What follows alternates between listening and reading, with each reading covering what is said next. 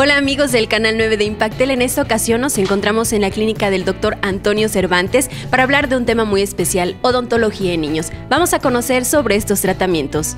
Dentro de los tratamientos que ofrecemos en odontología infantil, de rehabilitación son las pulpotomías, pulpectomías, resinas, coronas de acero cromo y dentro de los tratamientos preventivos ofrecemos lo que es aplicación de flúor y sellador de fosetas y fisuras. Otro de los tratamientos que ofrecemos aquí en el consultorio son tratamientos ortopédicos como mantenedores de espacio, entre otros. A continuación vamos a explicar eh, todos los tratamientos antes mencionados. Otro de los tratamientos que ofrecemos aquí en la clínica es la aplicación tópica de flúor. Esto es muy importante para pacientes desde los 3 años hasta los 18 años de edad. Eh, la aplicación de flúor nos va a ayudar para que nuestro esmalte sea más resistente y menos vulnerable a que la bacteria de la caries entre dentro de nuestro esmalte. Es muy importante también en pacientes de 6 años porque justo en esta edad es cuando empieza a erupcionar el primer molar permanente. Es importante también recalcárselo a los pacientes, sobre todo a los padres, para que estén muy al pendiente de la higiene y el cuidado que se debe llevar en esta, en esta etapa.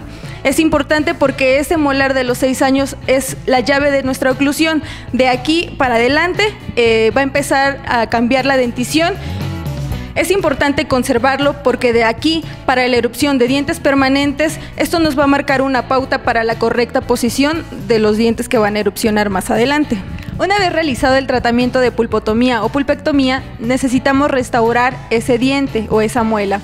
Para eso no siempre es recomendable utilizar resinas por la extensión de la cavidad, entonces se recomienda al paciente que se le coloque una corona. Estas coronas son de diferentes materiales, ya sea de acero cromo o de níquel cromo. Para esto necesitamos seguir una serie de procedimientos. El primero de ellos es tomar una impresión con un material llamado alginato. Esta es una especie de masilla que se coloca en cucharillas individuales para poder impresionar la arcada, ya sea superior o inferior del paciente. Con, esta, con este alginato nos va a dar un negativo que posteriormente nosotros lo vamos a convertir en positivo vaciándolo con yeso, para que así nosotros podamos acudir al depósito dental y comprar la corona de acuerdo a la forma, tamaño y oclusión del paciente. Otro de los tratamientos que realizamos aquí en el consultorio del doctor Antonio Cervantes como rehabilitación es eh, resinas. Las resinas que nosotros utilizamos eh, son con un material, un 82% de eh, dióxido sílice de circonio. Por lo tanto, nos ayudan a tener mayor durabilidad en boca, mayor resistencia, una coloración mucho más natural ya que manejamos aproximadamente eh, una gama de 20 colores. Eh, otra de las propiedades es que tienen unas partículas eh, de 20 micromicras, son partículas muy pequeñas, esféricas, que nos ayudan principalmente a que nuestra resina sea mucho más resistente. Este es otro de los tratamientos que ofrecemos aquí en el consultorio. En el proceso de sellado de fosetas y fisuras consta de grabar la superficie del diente. En este no se hace anestesia y tampoco se profundiza más la cavidad. Aquí podemos ver cómo el ácido grabador está haciendo efecto, vuelve poroso al esmalte. Este se lava con agua o el chorro de agua de la jeringa triple de la que ocupamos aquí. Y después se coloca lo que es el sellador de fosetas y fisuras. Este consiste eh, de una resina que después de colocarla se hace un fotocurado o el endurecimiento de este a través de una lámpara de resinas. La pulpotomía consiste en remover la, cámara pulpar únicamente de los dientes de primera dentición o dientes de leche. Como podemos ver en el video, bueno, la pulpa está contaminada por la caries.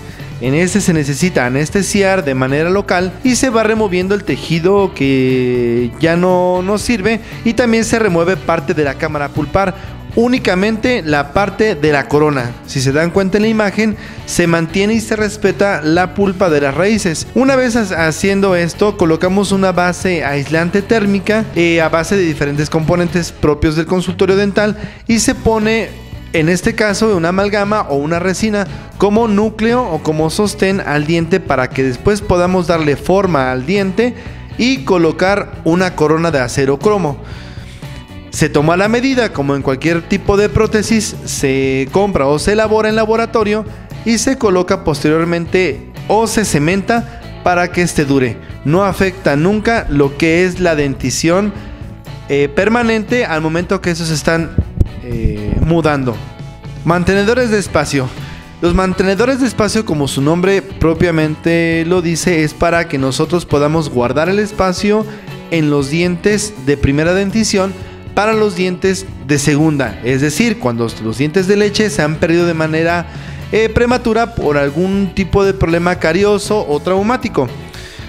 Cuando el paciente desconoce los tratamientos de pulpotomía o pulpectomía para mantener los dientes de, de leche en boca, nosotros asesoramos al paciente para que se le coloque un mantenedor de espacio y este impida que los molares u otros dientes se mesialicen, es decir, que se corran. Como se ve en la imagen, este diente está quedando atrapado ya que la mesialización del molar o el corrimiento del molar hacia adelante hace que quede atrapado.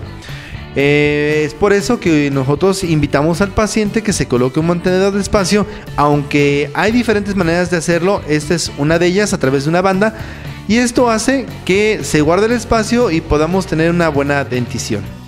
Eh, recordemos también que los dientes eh, permanentes tienen diferentes etapas de crecimiento. Por lo tanto, es importante estudios radiográficos. Esos tratamientos los puede encontrar aquí en Odontología Ortodoncia Teciutlán. ¿Qué dirección es, doctor? Es Avenida Hidalgo 1514, Interior 3, cuadre y media abajo del centro escolar. Y para los que requieren hacer alguna cita sobre este tratamiento, ¿qué horarios tienen, doctora?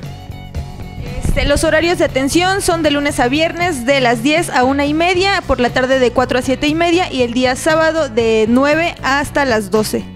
Además de estos teléfonos, ¿pueden tener contacto a través de otros medios con ustedes? Así es, por redes sociales, Odontología Ortodoncia Teciutlán, teléfono del consultorio 231-31-30287 y el WhatsApp 231-32-695-26. Ok, pues regresamos las cámaras al canal 9 de Impactel.